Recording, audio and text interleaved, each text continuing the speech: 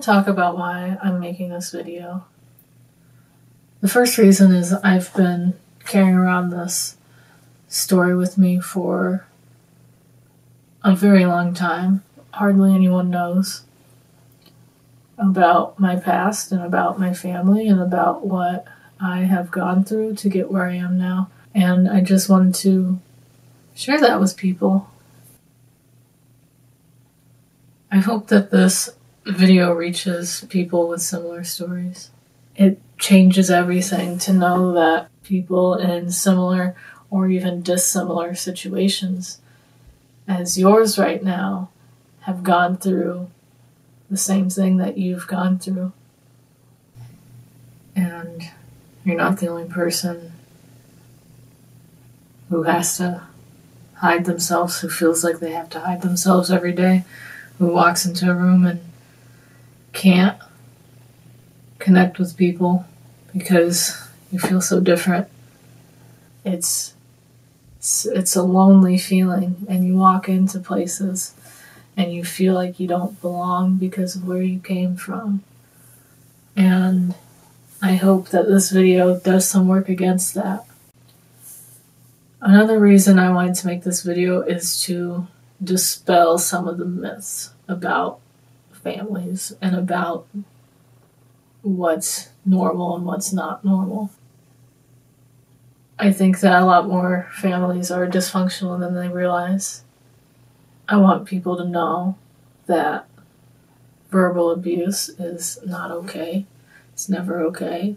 It can sting just as much as physical abuse. It's the worst pain I've ever felt, without a doubt. I think that a lot of people experience abuse in their lifetime and they don't categorize it as such and they don't think of it as such because they experienced it at the hands of someone that they love. And I hope that people see that. I hope that people see that they're not alone. That any type of abuse, whether it be physical, verbal, emotional, anything, it's painful. It causes pain, it causes scars. So I hope this brings awareness. Without further ado, let's get into this video.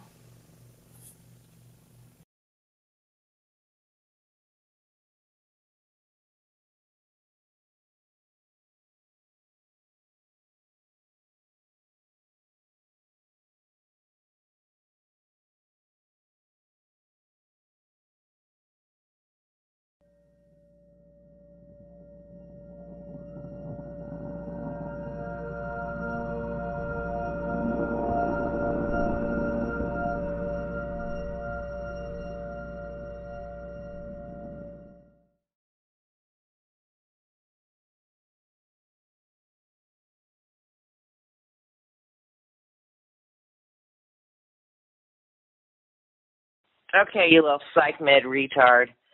Uh, you're stupid. I'm sorry. I I have zero respect for you. You're completely fucking stupid. Uh, you're full of shit. Uh, your big pharma handlers don't give a shit about you. You're gonna ruin your whole body. You're gonna ruin your whole life. You're gonna ruin your brain for life. I don't care what your little excuse is and how you believe in big pharma. You just showed me how fucking stupid you are. How fucking stupid you are. And you watch what happens to your body and shit, you little fucking monkey. You little monkey that needs fluoride to fucking function. It's your fucking kidnapped, stupid existence with your retarded grandma. Okay? I don't know you. You're a dead fucking zombie. That's what you are, is a dead fucking zombie. I'm never talking to your grandmother again, and now I'm gonna get these bitches. You're fucking stupid.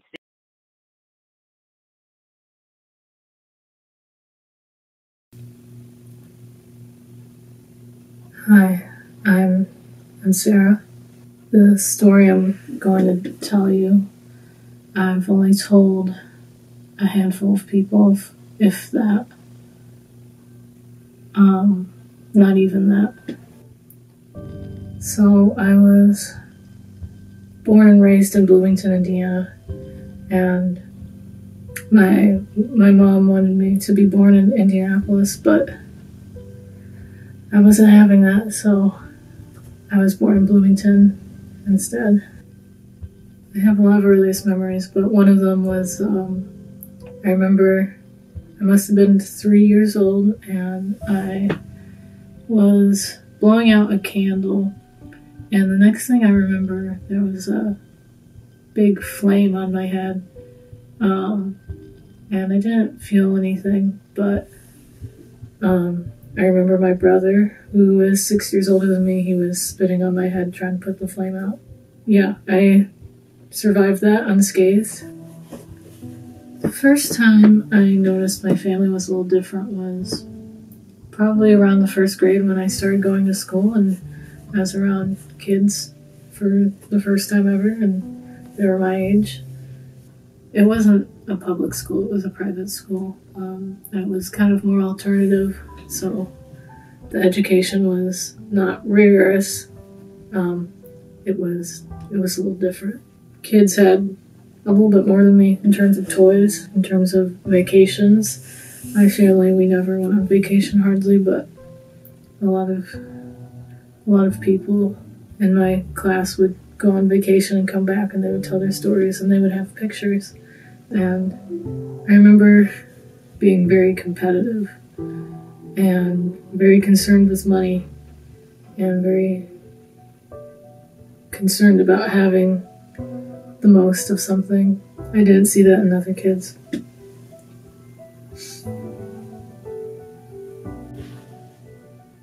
In between first and fourth grade, I uh, remember being bullied a lot for everything for the way I dressed, for my hair, for my weight, for my teeth, for the way I smelled, um, because my mom smoked a lot of cigarettes and I would go to school smelling like cigarettes. I remember getting hit a lot, getting beat up a lot, um, for no for no reason.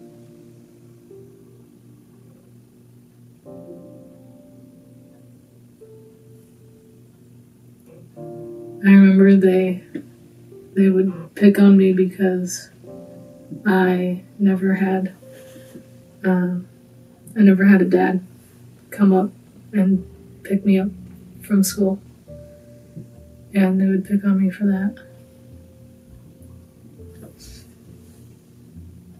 I'd be crying. Usually, I'd end up crying eventually every day after school, and I would get into big fights with my mom.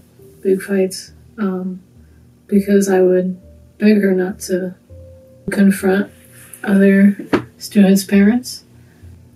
There was a couple moments that my mom told off other parents, and I remember it was really scathing. She would leave messages on parents' phones, and they'd be really scathing messages, really aggressive messages. The next day, I'd go to school and I wouldn't have any friends, it would it would drive my friends away. I made the decision for myself to leave that school because I didn't want to have teachers treat me differently, which they were doing, and the students were t- treating me differently. And all of a sudden, I remember being alone, and that that it felt so lonely. I remember. In in hindsight, that was probably the beginning of my depression. From then on, my mom unschooled me, um, which is kind of a weird concept, but I educated myself on my own for about two years from ages 10 to 12. It really wasn't any kind of schooling. It wasn't anything. It was just me doing my own thing for two years, which I don't recommend, but I came out of it. I wasn't allowed to go to public school. Um, I couldn't tell you why exactly. It just wasn't something that my mom wanted me to do. So I took my education into my own hands once again and I decided to enroll in online school. And because of my decision to enroll myself into school, I am where I am academically, which is a good place, I think.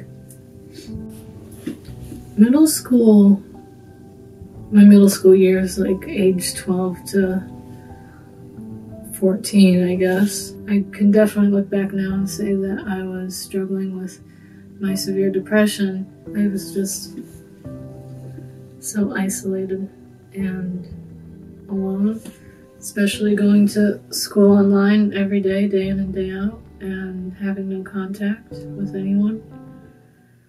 It, it made me suicidal, for sure. Um,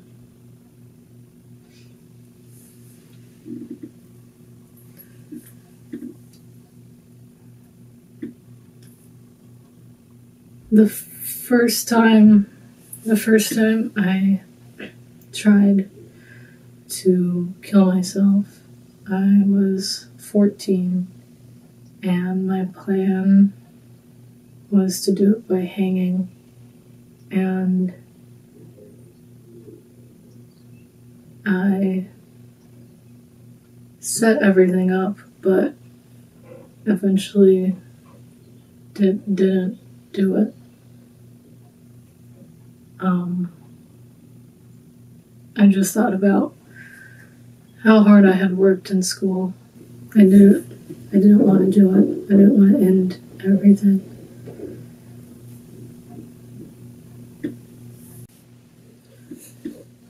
I really didn't enjoy my home life um, whatsoever, and I went to finish high school in two years total.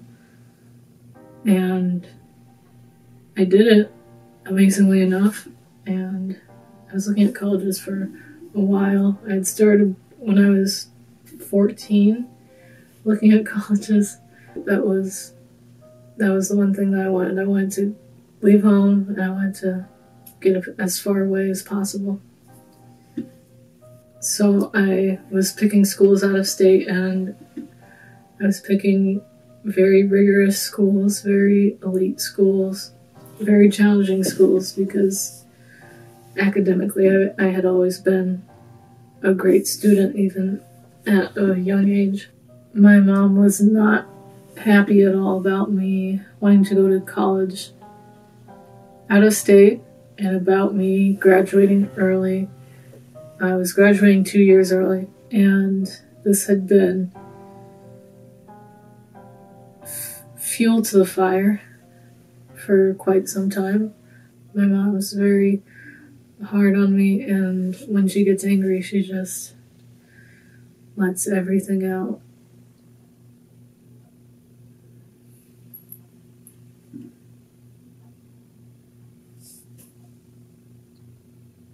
I remember I must have been five years old and I was being a five year old. I don't know what I was doing, probably throwing a tantrum or something, but I remember my mom saying that she hates Virgos, and I'm a Virgo. And I just remember being so upset because my mom hated me and I was five. And I was just so upset about that. I can never remember the reasons for her being angry. It's more often than not that she's angry about something. And she she would say, you know, you ruined my life. And that was always maybe the most hurtful. Um, that I ruin her life and I'm actively ruining her life. But I remember driving around with her and she was saying stuff like that, that I ruined her life. And she was driving really recklessly um, out of anger, and it was it was really scary. My mom has always been very bizarre with her thinking. She believes really strange things, like her house is is bugged, like people are listening to her in her house, or that the water is is poison, the tap water. Like she she wouldn't go out in the rain. Something's wrong with the rain. So she's always had really weird beliefs that she's adamant about. And around the time I was picking out colleges, I picked one, the one that I'm currently at, and I was sure that I was going to go, as I did. But she just thought so strongly that the school is a scam, that it experiments on students, that it has some connection to aliens, that it's evil and malicious and and she took that out on me. My mom would scream at me 24 7, day in, day out. Um, all the time. I could be sleeping. She would still be screaming at me. And it got to a point where I couldn't take it anymore. I knew that I was going to college in two months, but I couldn't last that long. There was no way. Um, to make matters worse, I had gotten so depressed that I was failing half of my classes in high school, and if I didn't complete those, then I wouldn't be able to go to college. And that combined with the extremely explosive environment of my house, I just couldn't take it anymore. I was just so tired of the delusional, paranoid thinking that I couldn't get past. Like there was a barrier, and I couldn't talk to my mom or tell her anything that was reasonable. She just believed what she wanted to believe. Um, that was really hard. One morning, while arguing with my mom, I just decided this is it. I'm going to kill myself. There's nothing else that anyone can do. And this was when I was 16, about to go to college. She had hidden anything that could be harmful already because this was an ongoing thing. So I got inventive and I tied a garden hose up like a noose and I strung it up on the gutter and climbed on a pool ladder. And I was so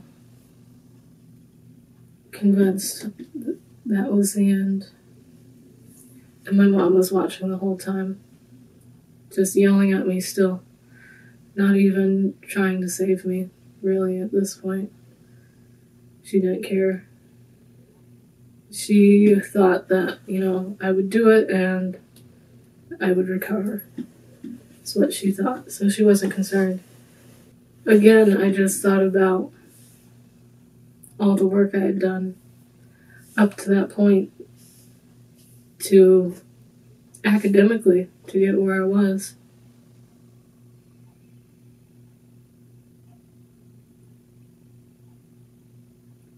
And I didn't do it.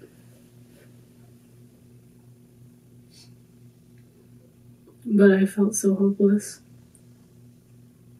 I didn't know what else to do.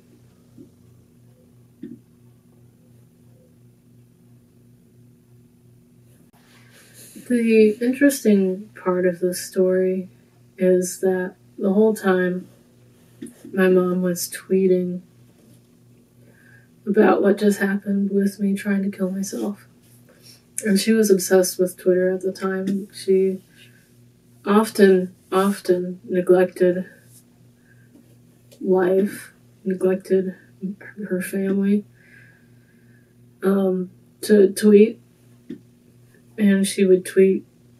She had thousands of tweets, hundreds of thousands of tweets um, on Twitter. And she would tweet all the time, just nonstop. The tweets that she made while I was trying to kill myself, they were saved. Um, my grandma saved them, or my auntie saved them. Um, as a record of what that was like. It says, but I didn't worry too much because I was like, oh, it's full moon too, so who knows? Just crazy times and crazy chemtrails make note. That's it.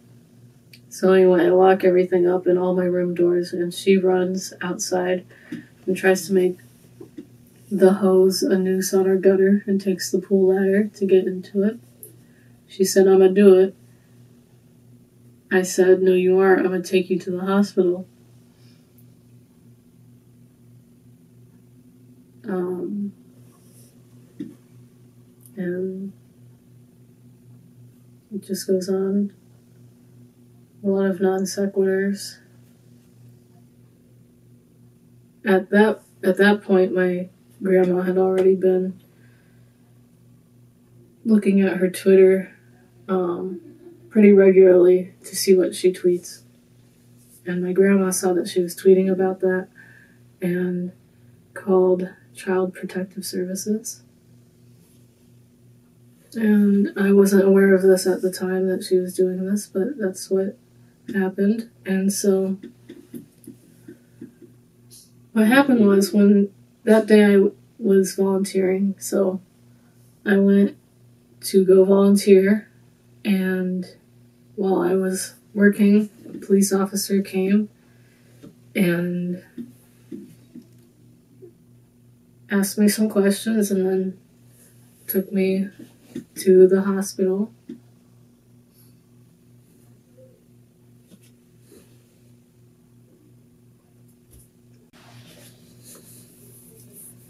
Everything changed after that because I never I never lived in that house again.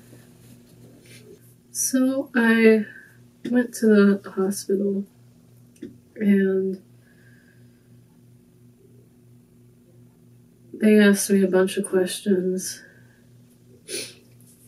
to which my answer was you know I only did this because my mom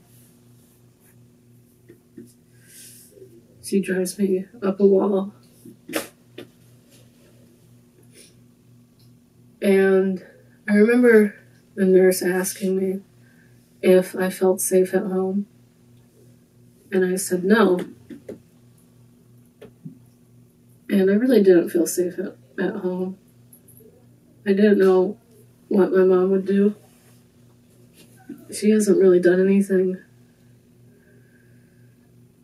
um, to. I, she's just so unpredictable. I didn't know what she would do or could do. She was just so angry at me. I remember one time she did threaten to drive into a semi truck on my way to college. So I told the nurse, no, I don't feel safe at home. And uh, he cautioned me that if I say that, I could become a, a child of the state. And that didn't scare me too much.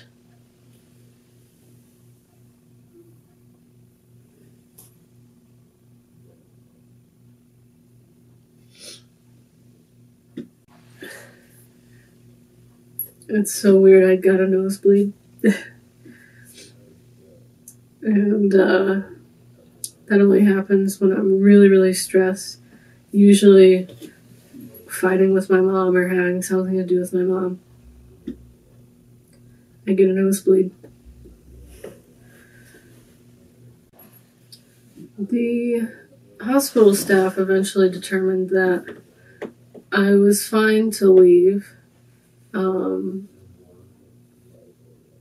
I wasn't a threat to myself, but they would not let me leave if I was going back to my mom's. And if they wanted me to have a plan so that I would not have to go back to my mom's because that wasn't an option to them. And that upset me because I didn't know anywhere else. I didn't know anything else. I didn't know anyone else.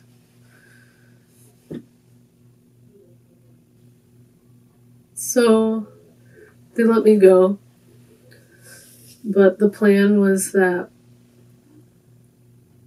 my great aunt was going to apply for guardianship, and that was going to go through the courts, and I was going to live with my auntie for the next two months until I got to college. And that was really different for me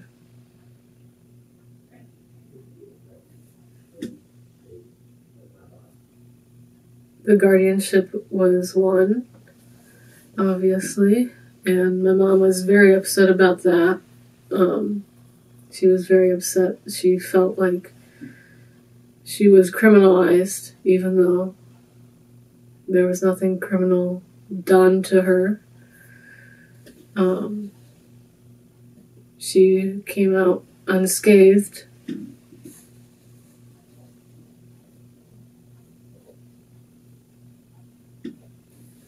I don't feel like I did.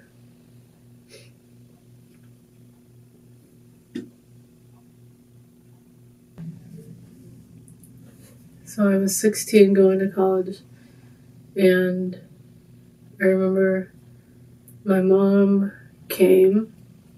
She didn't drive, but she came with. And I thought for sure she would get there and see how great everything was and change her mind. That didn't happen. She was just more miserable. And this is when I saw a therapist and was diagnosed with severe depression and severe anxiety. And that was that. It was also during this time that I started receiving text messages from my mom. Things like, and all this BS that you Three Stooges caused is coming back to you times infinity. For eternity, you creep, troll, brainless, soulless, heartless, Gestapo demented puppet. I can't even believe evil are words like you, MFs, even exist. And none of you creeps are sorry or want it to stop. There is nothing so vile in this universe as you ignorant, evil creeps, and you all will be removed from life and God for eternity, because you're all ass backwards, not existent, pure evil. And I would get messages like this times a thousand. There must be thousands of these messages on my phone um, from my mom. And I would receive them like all day and all night, just nonstop. It's just hundreds. Hundreds of messages. College has treated me well, generally speaking, and doing great academically. I'm involved in a lot of extracurriculars. I have a lot of friends. It's literally everything that I thought would be and more. Um,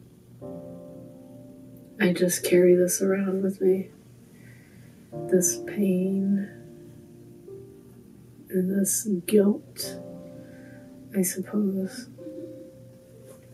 Guilt of feeling like I ruined my family and like somehow just existing, I am hurting my mom. And I've given what she said to me and what she's done to me and the messages that she sends. I've gone a year without talking to her before. I've gone several months without talking to her before, but nothing ever seems to work. So I'm currently in contact with her still. And I'm seeking treatment for my severe depression and anxiety. Um, I have, I started a support group, a local support group for people with depression and bipolar disorder. Um, my mom is diagnosed bipolar, so I understand what that's like. To some degree, I understand what it looks like. I still receive hundreds of hateful messages from my mom, but I've been learning to have that not bother me because I know she is sick basically. Um, her her mind is not her is kind of how I feel about it. But I know that for me, it gets better. It's been getting better. And I'm at a good place right now. So.